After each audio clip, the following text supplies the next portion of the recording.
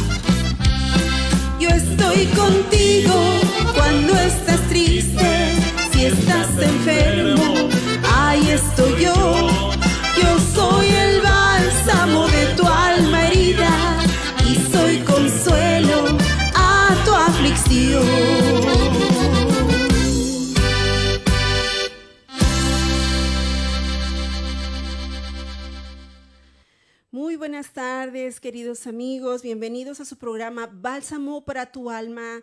Estamos en vivo desde Dallas, Texas. Les saludamos a todos con mucho cariño. Vamos a cantar esta alabanza que se llama Dios del alma mía.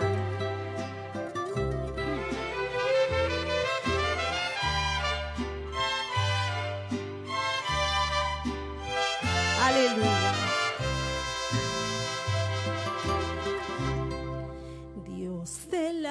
alma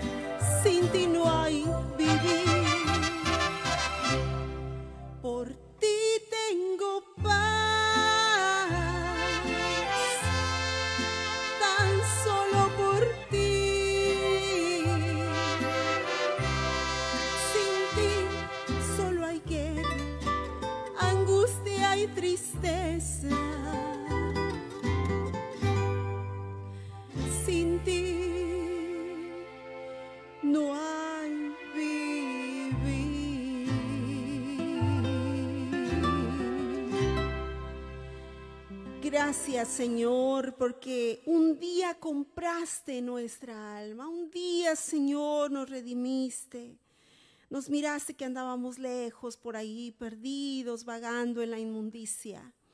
Pero Señor, un día nos compraste y nos trajiste a tu luz admirable. Y ahora, Señor, queremos también compartir esa salvación tan grande a otros, Señor, que todavía no te han encontrado, que todavía, Señor, no han dejado este mundo de dolor y de tristeza.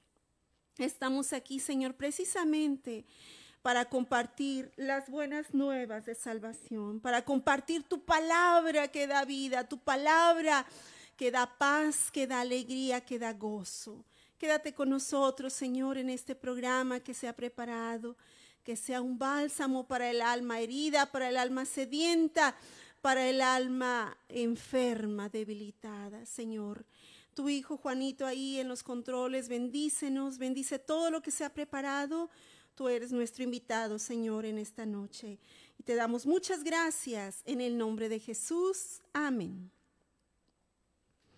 Bienvenidos, queridos amigos, a todos ustedes en Bálsamo para tu alma. Dios los bendiga. Estamos ya en el programa 60, gracias a Dios.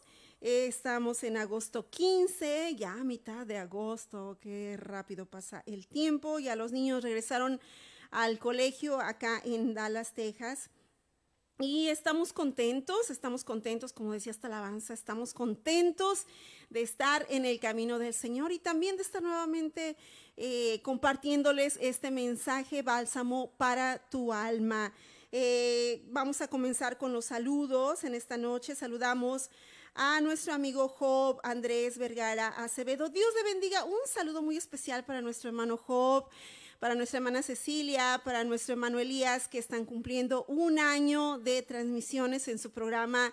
Todos los viernes están ahí compartiendo el mensaje de la palabra de Dios. Que Dios los bendiga. De verdad que ha sido de grande bendición su programa. Sigan adelante con ayuda del Señor. Saludamos a la secretaria de este programa, María del Carmen Miramón, que Dios la bendiga, bienvenida. Estuvo por ahí unas dos semanas ausente, pero fue por una muy buena causa. Ella estuvo colaborando, apoyando en la escuela bíblica de vacaciones, pero bienvenida de regreso. Ella estará tomando nota de todas las peticiones y enviándolas al grupo de oración de WhatsApp.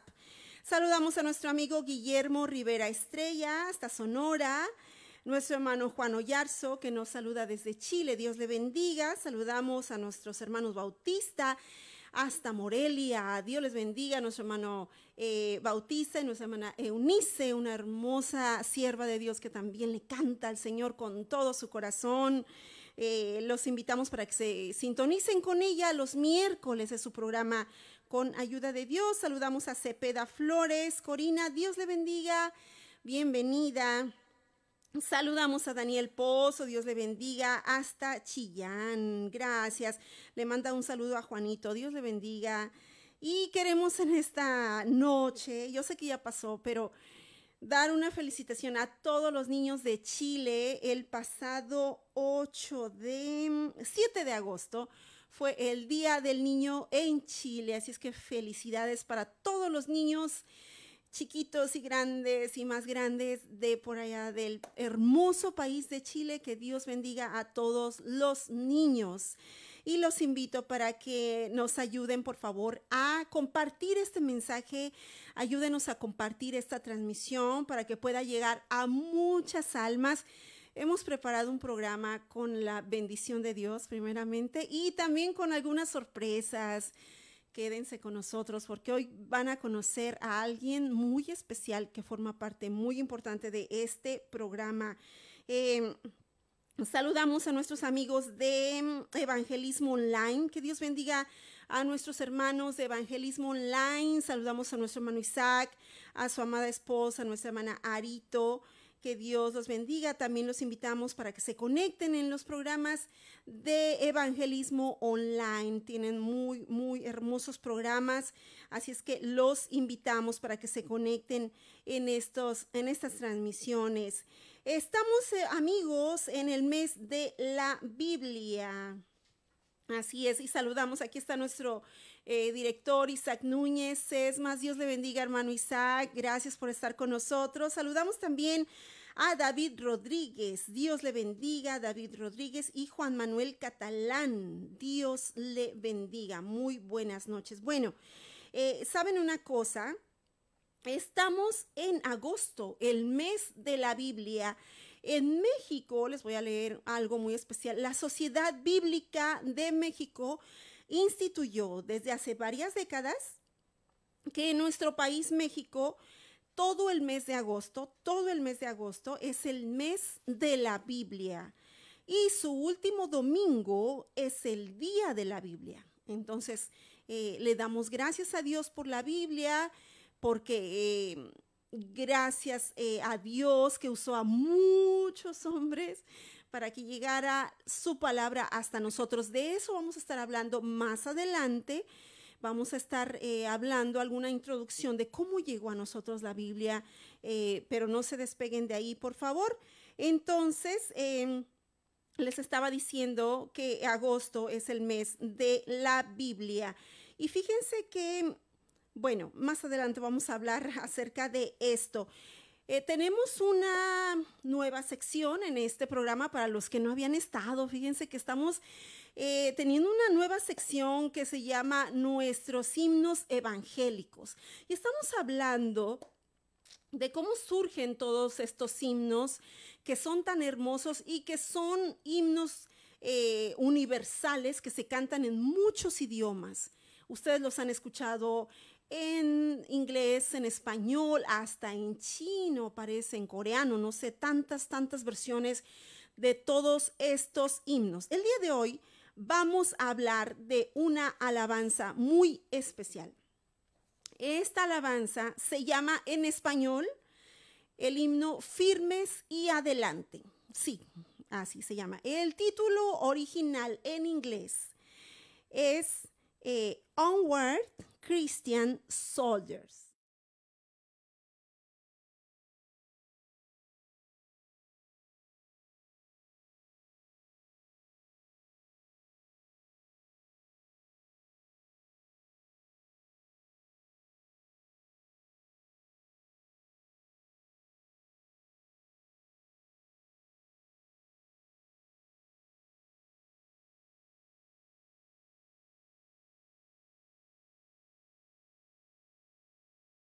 En un texto bíblico que según de Timoteo 2, 3. Esta alabanza está en muchos himnarios, entre ellos el himnario adventista, como el himno número 516, firmes y adelante. En el bautista es el himno 397, en el metodista es el himno 228, en el himnario pentecostal es el himno 15 y en el presbiteriano es el himno número 600. En el himnario de nosotros, el que nosotros utilizamos, que se llama nuestros himnos predilectos, que aquí lo tengo yo en mis manos, es el himno número 193. Y les voy a leer un poco de la historia de esta alabanza, cómo nació esta alabanza firmes y adelante. Bueno, fíjese que en algunos países europeos hay una celebración que se conoce como Whit Monday algo así como lunes de Pentecostés, y se celebra el día después del Pentecostés precisamente. Es una fecha bastante especial y en el siglo XIX era costumbre que los niños salieran desfilando y cantando por las calles. Sabine Barig, que fue quien escribió esta alabanza, era el hijo de un oficial de la caballería inglesa él no fue enviado, fíjese, por su padre a la escuela, sin embargo, obtuvo un lugar en un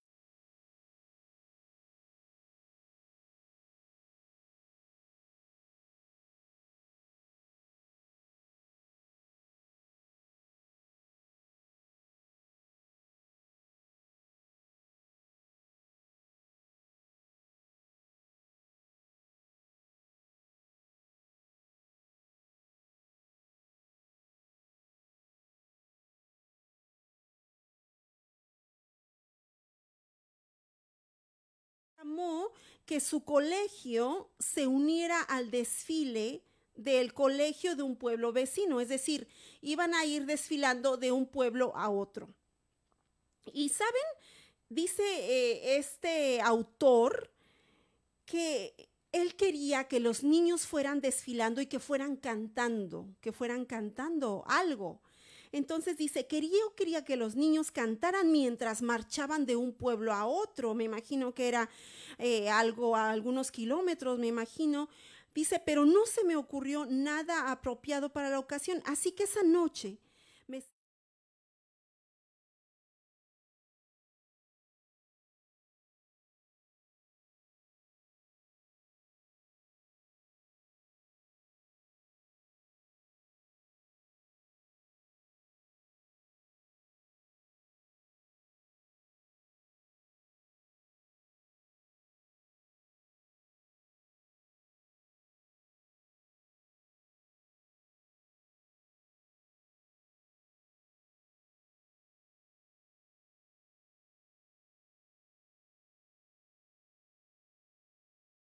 este desfile.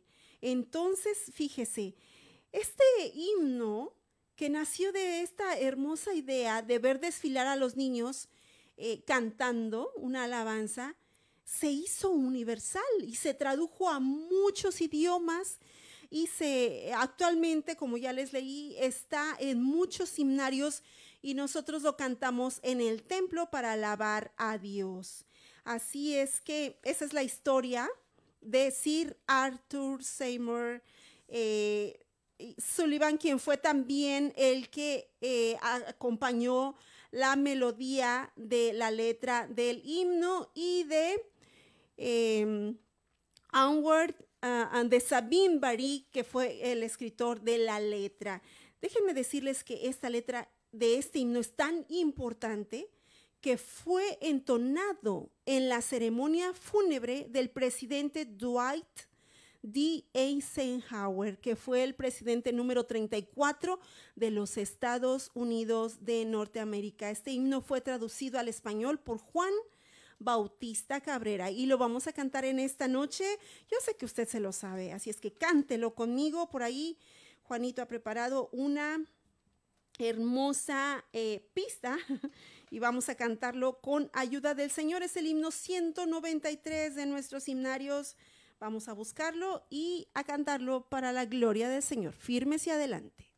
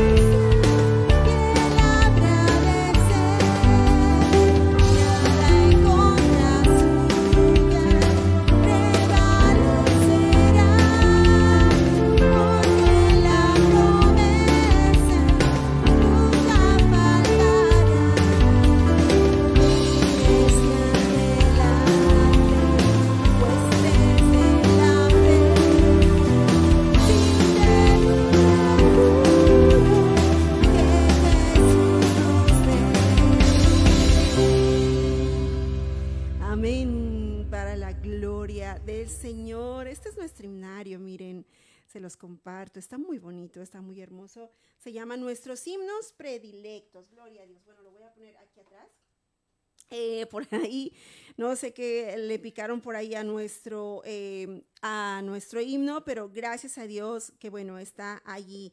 Entonces, vamos con los saludos, con ayuda del Señor. A ver, ¿dónde nos quedamos en los saludos? Aquí estamos. Muy bien, dice Dios le bendiga hermano Juan Manuel Catalán, Dios le bendiga juntamente con su amada esposa. Saludamos también a Jesse Díaz que nos ve desde Nuevo Laredo, México. Dios le bendiga a Jesse Díaz, se le extraña mucho. Que el Señor le bendiga y que el Señor le guarde. También en esta noche, ay, ¿dónde estamos? Amén. Eh, quédese con nosotros porque alguien va a estar aquí con nosotros. Tenemos un invitado que, aunque es de casa, pero bueno, es la primera vez que va a estar aquí. Ustedes lo van a poder ver. Eh, no les quiero decir de quién se trata. Saludamos a Medel Mariano. Dios le bendiga, hermano, hermano Medel. Nos gozamos mucho con su testimonio.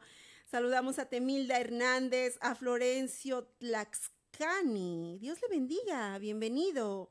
Eunice de la Rosa, Dios le bendiga, gracias porque siempre está compartiendo. Artemio López, Dios le bendiga. Nuestra hermanita Cecilia Vergara, Dios le bendiga, un abrazo hasta Chile. Saludamos a nuestro amigo Teobaldo Pérez, Dios le bendiga, muy buenas noches. A David Ramírez, Dios le bendiga. Amén, gloria a Dios. Saludamos a nuestro hermano Juan Ollarzo que dice, hermosa alabanza, así es, firmes y adelante. Rubén Abelar, Dios le bendiga. Santos Recinos, Dios le bendiga. David Marroquín Solís, que el Señor le bendiga. David Ramírez, José Eric Campos, Rodríguez, que el Señor les bendiga. ¿Se imaginan ustedes qué bonito se veían esos niños marchando, desfilando de un pueblo a otro y cantando firmes y adelante? Qué hermosa alabanza, una de mis favoritas sin duda. Bueno, queridos amigos, em, vamos a pasar, como les estaba diciendo al principio, estamos en el mes de la Biblia.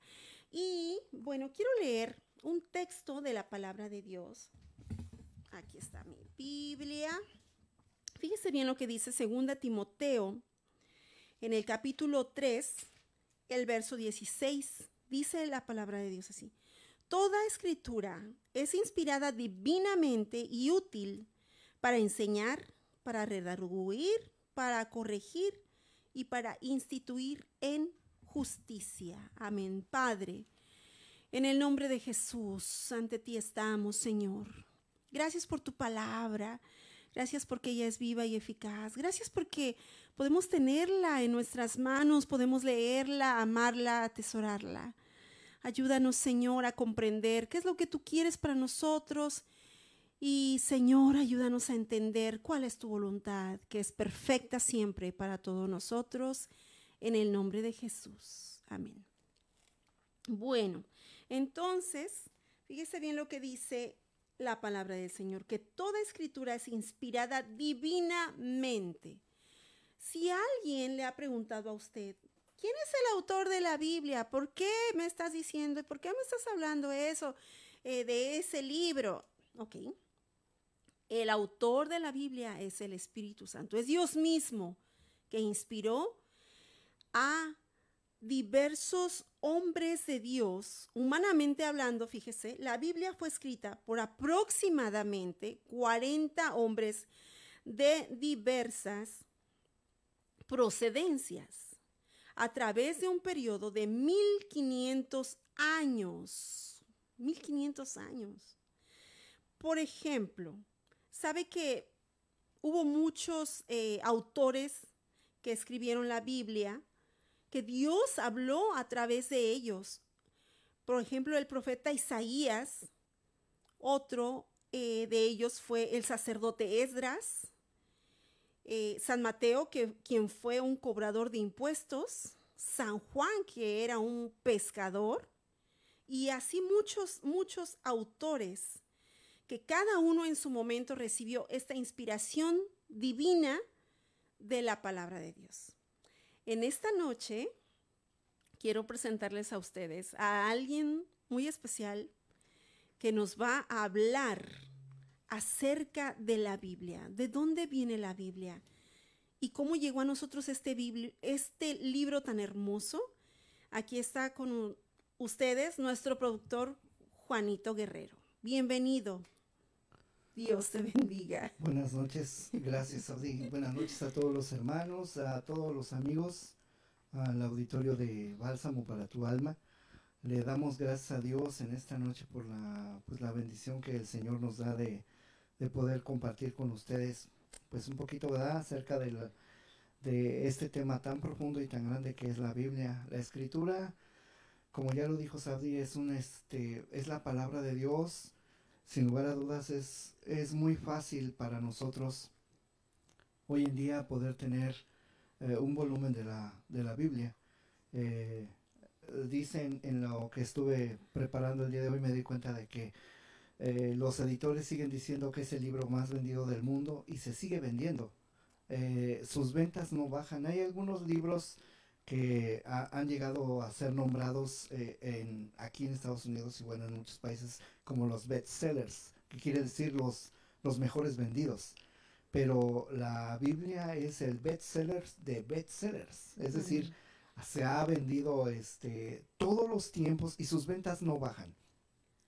Se ha traducido a más de 450 idiomas completos y a más de 2000 en, en fracciones del, Nuevo Testamento o, en alguno de los evangelios, inclusive en algunos dialectos, en las lenguas más ah, que quizás nunca habíamos oído, que siquiera que existieran, pero se ha traducido de muchas maneras. La Biblia, hermanos, eh, amigos, eh, es, eh, es, no es otra cosa que en el antiguo tiempo, pues eran solamente textos que se, se, habían, se habían llamado así y eran libros por separado, escritos en hebreo, en arameo, y bueno, en el Nuevo Testamento ya se, se escribieron en, en griego.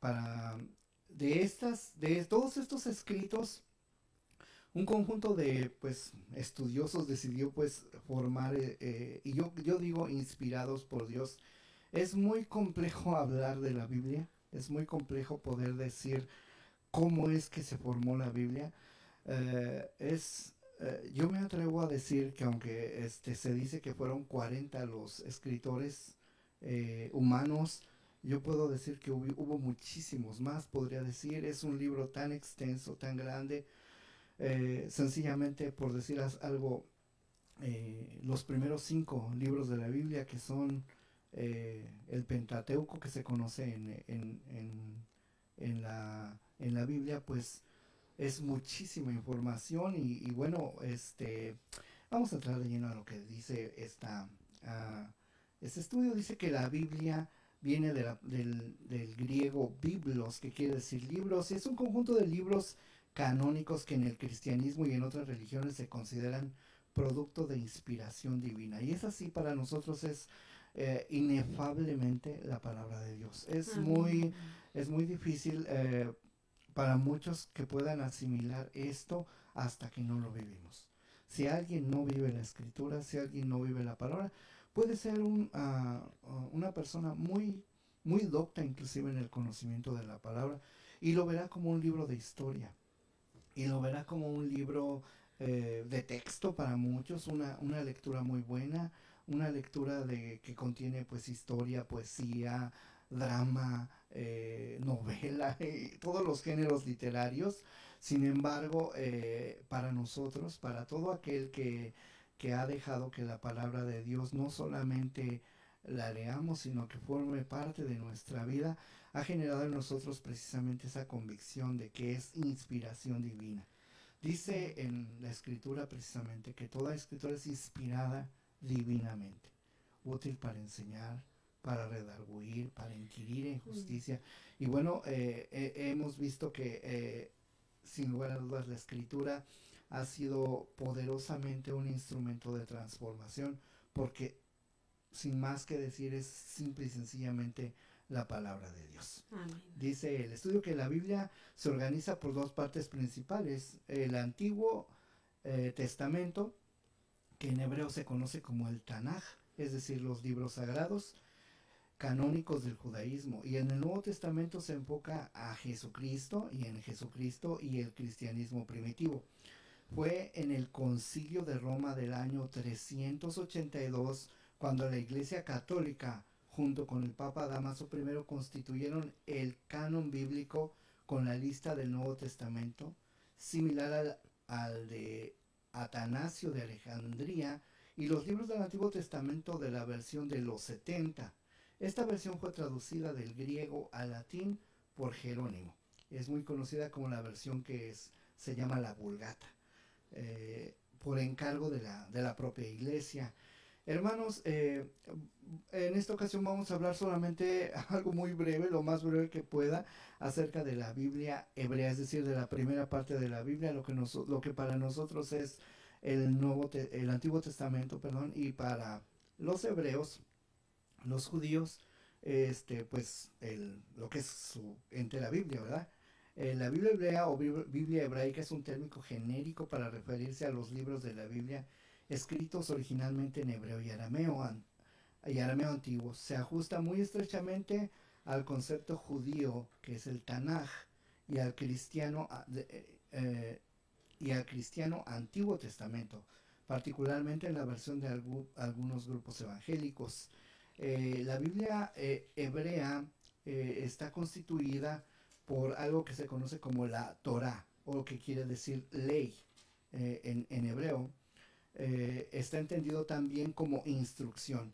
Es la base de las reglas y regulaciones de las religiosas judías y consiste en los primeros cinco de la, libros de, nuestra Biblia. Para ellos los primeros libros también, que son el Génesis, Éxodo, Levítico, Números y Deuteronomio. Eh, el título hebreo proviene de la primera palabra en cada parte de excepto Éxodo, donde la quinta palabra los libros, eh, los libros contienen 613 mitzvot o mandamientos que forman la base de la ley religiosa judía, que en hebreo se llama halaká. La Torah se describe tres etapas en la relación entre Dios y el hombre. Primero, eh, en Génesis del 1 al 11 describe la historia general de la creación de la humanidad. Yo creo que para todos los que alguna vez eh, fuimos niños y que queríamos saber cómo se había formado el hombre, cómo se había formado el mundo, pues estos primeros capítulos de la Biblia nos describen perfectamente cómo fue el proceso que Dios ocupó para la creación, ¿verdad? Este, los últimos 39 capítulos de Génesis, donde Abraham es elegido como el antepasado de un pueblo numeroso, a través del cual será bendecido. Abraham fue llamado por Dios para ir a Canaán, donde la promesa se repitió a sus descendientes Isaac, Jacob y José. En los últimos cuatro libros cuenta la historia de Moisés, quien vivió cientos, ciento, perdón, quien vivió cientos de años después, perdón, cientos de años después de los patriarcas de Egipto. Cuenta la historia del éxodo de los israelitas de Egipto, su salida, el éxodo en el desierto y la renovación del pacto de Dios en el monte de Sinaí.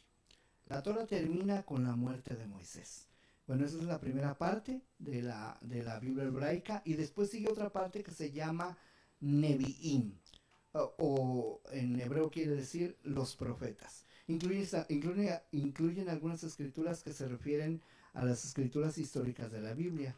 Los libros describen el reinado del, del juicio, el establecimiento de la monarquía israelita, la división de dos reinos y profetas que en nombre de Dios advierten y juzgan a los reyes y al pueblo de Israel.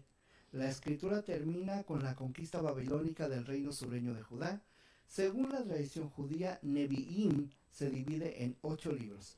Esta división no se sigue en las Biblias danesas normales, que son por, en, en esta Biblia hebraica el libro de Josué, jueces, los libros de Samuel, el libro de Reyes, Isaías, Jeremías y Ezequiel.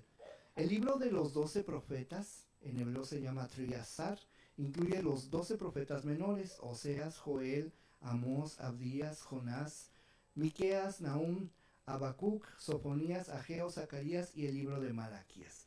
Esa es la segunda parte y la última parte en la que consta la Biblia hebraica es el Ketubim. El Ketubim son los escritos en hebreo, son 11 libros escritos por varios autores y contienen la literatura de sabiduría israelí. Según la tradición rabínica, muchos de los himnos fueron escritos por David. Se presume que el rey Salomón de joven fue el autor del Cantar de los Cantares y el libro de los Proverbios. Y en la mitad de la vida, y el libro de, el libro de y el libro de en su vejez, perdón. El libro de Ruth es el único libro bíblico sobre un no judío. Cinco de los libros se llaman los cinco rollos, es decir, el Mejilot, y se leen en voz alta durante las fiestas judías. El cantar de los cantares en, en Pascua, el libro de Ruth por Sabuot, el libro de las lamentaciones en Tisha, y el libro de Eclesiastés de Sukkot, y el libro de Esther de Purim. Eh, es decir, estos libros se, leen en esas fiestas judías. Eh, en general las escrituras contienen poesía, reflexiones filosóficas sobre la vida, las vidas de los profetas y otros líderes israelitas. Durante el cautiverio babilónico, que termina el, perdón, termina con el decreto persa que permite a los judíos regresar a Jerusalén y reconstruir el templo. Y los libros de los cuales eh, consta esta tercera parte, que es el, el Ketubim, son el libro de los Salmos, Proverbios, Job, el Cantar de los Cantares, el libro de Ruth, el libro de las Lamentaciones, el libro de Eclesiastés, el libro de Esther, el libro de Daniel, el libro de Esdras y Nehemías y el libro de las Crónicas. Y bueno, como ven, este es solamente pues una, algo muy resumido acerca de la primera parte de la Biblia. Todavía no entramos en detalles, este, sobre cómo vamos a, eh, vamos a llegar a, la historia. Espero que en la, en la, en la próxima ocasión tengamos la oportunidad de, ver este un poquito más acerca de cómo nos llegó a nosotros las personas de habla hispana la Biblia. Es una investigación muy muy importante, muy bonita, un estudio muy bonito que nos hace pues referencia y y a la vez agradecer a Dios esa oportunidad que nos dio a nosotros como hispanoparlantes el poder tener en nuestro idioma la palabra de Dios también. Quiero mostrarles también a continuación unas imágenes eh, sobre esta Biblia hebraica de la cual hablamos hoy.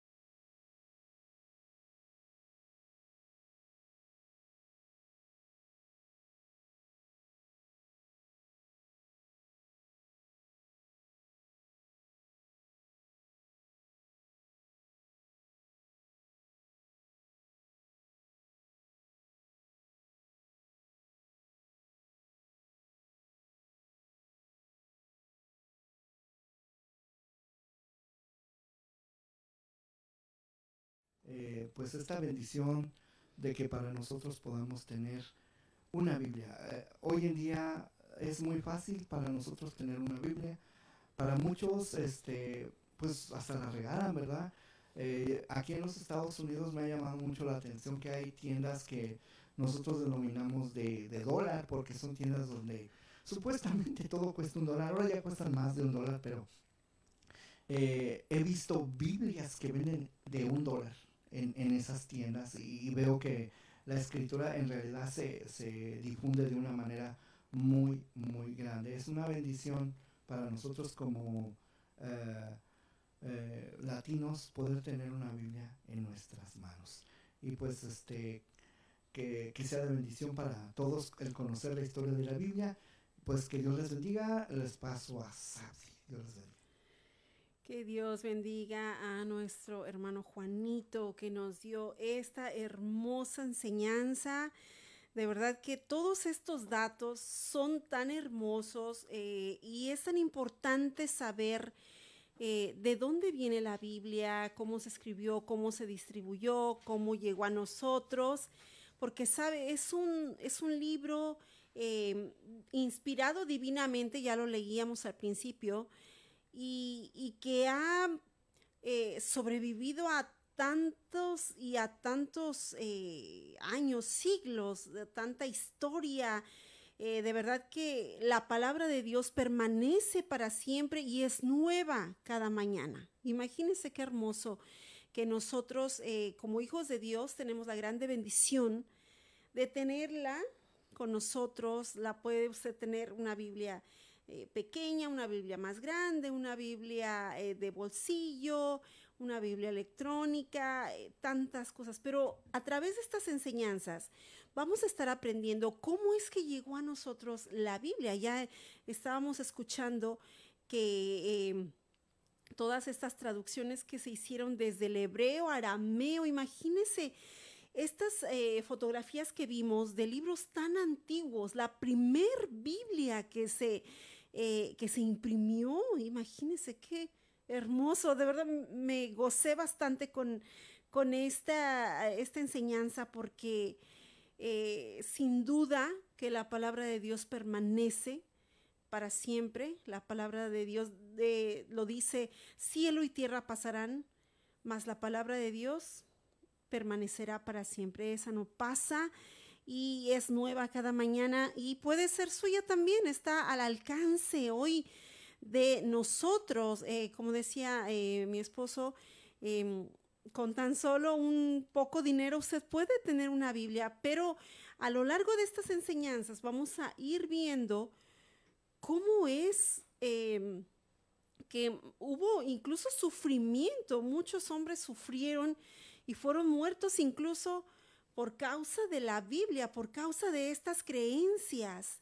Entonces, eh, yo le invito para que cada lunes de agosto eh, se quede con nosotros conectado aquí en Bálsamo para tu alma, porque vamos a estar aprendiendo acerca de la palabra de Dios, acerca de cómo llegó a nosotros la palabra de Dios. Que Dios bendiga a Juanito por estas hermosas enseñanzas que están eh, a disposición de todos ustedes. Eh, si alguien gusta, le podemos enviar todos estos eh, datos que se han compartido aquí. Escríbanos y se los mandaremos con mucho gusto. Vamos a dar los saludos antes de pasar a una alabanza que tenemos preparada. Saludamos a nuestra amiguita Elenita Fiel. Dios le bendiga.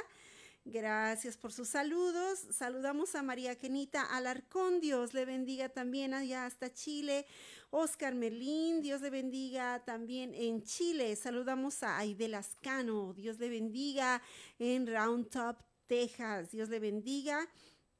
Allá en eh, Chile están en un temporal de agua y viento, por eso no hay muy buena señal. Bueno, que Dios los bendiga. Le mandan un saludo para Juanito. Dios le bendiga. Nuestro hermano Eduardo José Bejar Carrillo. Dios le bendiga también hasta Chile. Rosa Cati, Dios le bendiga.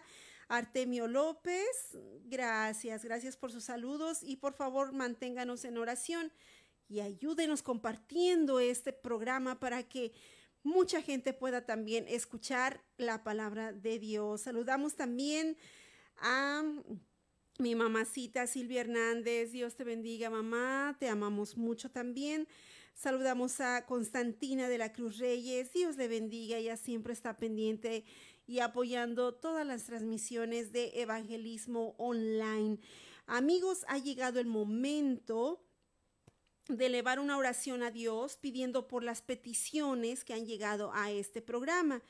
Em, ya que Juanito tiene por ahí el micrófono, lo vamos a invitar para que él eleve a Dios esta oración. Ah, me llegó una petición muy, eh, muy especial y es una oración por Rosalba Belandía de Colombia que está desaparecida, ya tiene algunos días desaparecida. Su hijo Sergio está pidiendo esta oración, que nos unamos en oración con él, eh, para que Dios guarde y bendiga a su mamá Rosalba y que si es la voluntad de Dios ella pueda regresar a su hogar. Así es que en esta noche vamos a orar por esta petición, vamos a orar por esta necesidad y recuerde también eh, que si alguno de ustedes tiene una petición, la puede dejar aquí en los comentarios y nuestra hermanita María del Carmen Miramón estará tomando nota de estas peticiones y enviándolas al grupo de WhatsApp. Así es que,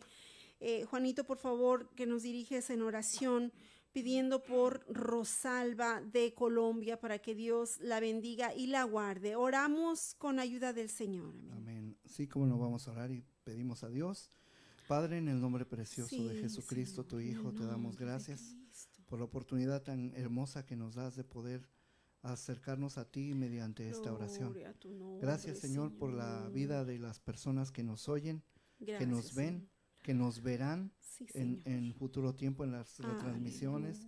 Gracias por la vida de todos ellos, Señor. Permite que tu palabra que los cantos, que todo lo que hagamos, Señor, en este momento, sea, Señor, para edificación y para la gloria de tu santo nombre.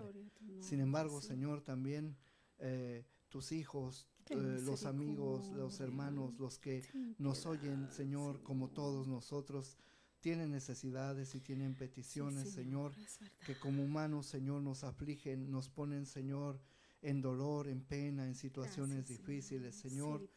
Y Señor, nosotros recurrimos a ti porque nosotros sabemos que en ti está todo el poder y el hacer de todas las cosas. Dices en tu palabra que toda potestad te es dada en los cielos y en la tierra. Y conforme a tu palabra y conforme a tu promesa, es que presentamos las necesidades particulares de cada uno de los que han escrito o nos han mandado en un texto o en un video o en un audio esas necesidades, por sus peticiones, Señor. Dios, te ruego por la vida, Señor, de esta persona que está desaparecida. Señor, para nosotros, Señor, es difícil. Para nosotros, Señor, será imposible. Para su propia familia, para las autoridades, para todos ellos será difícil, pero no para ti. Tú todo lo ves, tú todo lo sabes, tú todo lo conoces, Señor.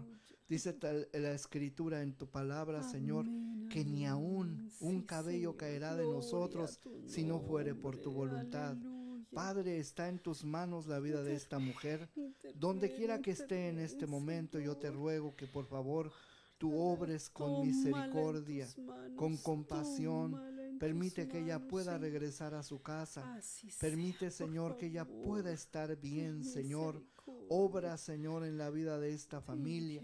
Te pido por su familia, por sus familiares. Yo no conozco quiénes son, pero ahí donde ellos están, ellos que claman, que lloran, Señor, que suplican misericordia, te ruego que los escuches, que nos escuches a todos, Señor, y que por misericordia, por compasión, tú obres con poder en la vida de esta persona. Dale, Señor, esa oportunidad nueva para que pueda poder estar una vez más con su familia, Señor. Todas las cosas, Señor, están en tus manos, Señor. Hay veces que nosotros no entendemos las cosas. ¿Por qué pasan? ¿Cómo suceden? ¿Cuál es la razón? Pero tú la sabes. Te pido por favor que des paz. En medio del problema, en medio del dolor, Dale paz a esa familia. Permíteles entender que en ti está el poder y el hacer de todas las cosas, Señor. Y que, Señor, a ti, Señor, a ti, Señor, confiamos, en ti creemos, Señor. Todos los hermanos, amigos que nos oyen, están en tus manos. Hay quienes quizás estén enfermos, hay quienes quizás la estén pasando mal. Algunos no tendrán trabajo, oh, otros no tendrán dinero, Señor. Yo te pido por toda la gente que te necesita, Señor. De manera especial por aquellos que tienen necesidad espiritual. Aquellos que no tienen paz. Aquellos que no tienen, Señor, nada, Señor, de ti en su corazón, pero que nos oyen. Para que tú les des paz, les des de tu gloria y de tu gracia y ese hermoso regalo de tu gracia y salvación. Señor, sea abundante en todos los que nos oyen. Muchas gracias, Señor, por tu presencia con nosotros y con los que nos oyen y nos ven o nos oirán. Gracias, Señor, te damos y nos dejamos en tus manos en el precioso nombre de Jesucristo. Amén.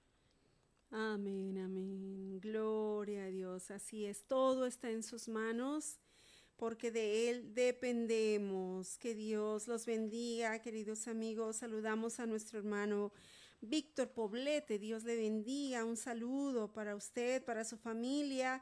Que Dios los guarde. Saludamos a, ya saludamos a David Rodríguez hasta Acapulco Guerrero. Dios bendiga a todos nuestros amigos de México, de Guatemala, nuestros amigos de Colombia, eh, también tenemos algunos amigos por ahí en Argentina, en Chile, todos nuestros hermanos amigos de Chile, que Dios los bendiga. Ya nos vamos a despedir, queridos amigos. Conéctense con nosotros cada lunes, los invitamos. Vamos a estar aprendiendo mucho acerca de la Biblia este mes con ayuda del Señor. Para despedirnos, vamos a cantar esta alabanza que se llama Tu palabra santa. Y en el piano está nuestro querido Juanito. Que Dios lo bendiga. Esta alabanza es para honra y gloria del Señor. Aleluya. Gracias Señor por tu palabra.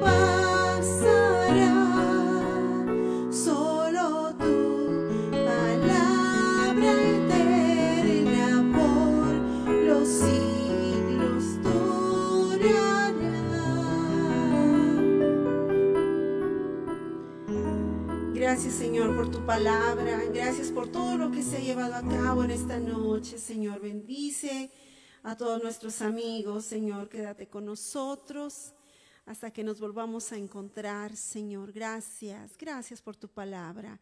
Gracias por este programa, Bálsamo, para tu alma, Señor. Te pedimos por aquella alma que está herida, por aquella alma, Señor, que vaga perdida, para que pueda encontrar la luz de tu palabra, Señor. Gracias por todo. En el nombre de Jesús. Amén. Que Dios les bendiga. Ya nos vamos a despedir.